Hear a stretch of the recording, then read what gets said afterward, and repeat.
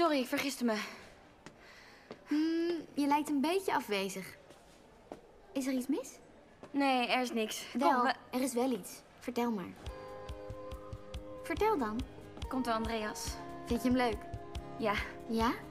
Weet je, het is gewoon een leugenaar. Hij wilde me versieren, maar hij heeft een vriendin. Weet je wel niet hoe boos ze was toen ze ons samen zag?